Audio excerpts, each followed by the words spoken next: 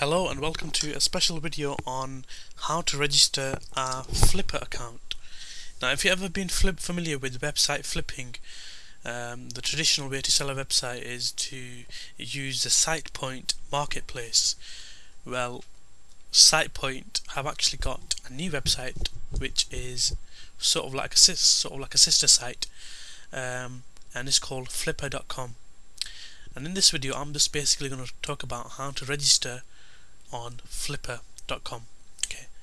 Now the first thing that you need to do is click on the register link which is at the top right. So click register. And as you can see registering is pretty straightforward. What you need to do is you need to enter an email address a username and a password. And once you've registered and logged in it's pretty straightforward. So what I'm going to do is I'm going to log in and then I'm going to talk about how to sort of go about using the website. So I'm just going to log in.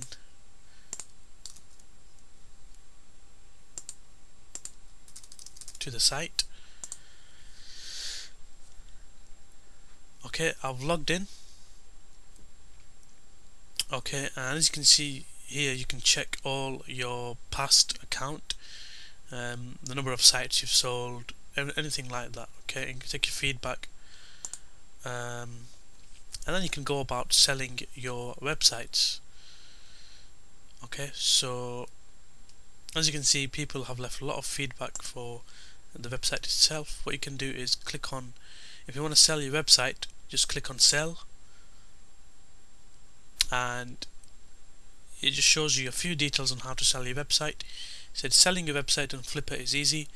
Number one list your website for sale and decide if you want an auction a listing with competing bidders and bids shown or a private sale or longer listing which shows offers to be put to you privately.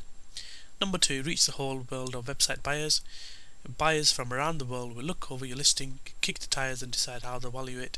And then if you're lucky bid on it or make an offer for it. And thirdly sell your website and success.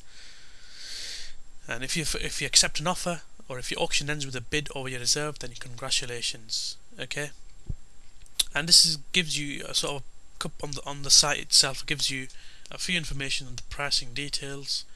Uh, listing fee is paid by the seller when the listing is created so it's $19 success fee $5.0 uh, success fee cap, success fee minimum. So there's sort of um, quite a few list fees that you have to uh, take note of. Okay. Once you've decided that you want to sell a website, just click on get started now. And then here what you do, you need to enter the URL of your website, the date established, uh, whether your website is unique or it's not unique, whether the design is unique, or design has been copied or used before, average monthly revenue, average uniques per month, and then you just click on the next step. And this you follow the instructions until your payment is completed. Thank you very much for watching this video on flippa.com and I hope you create your first listing.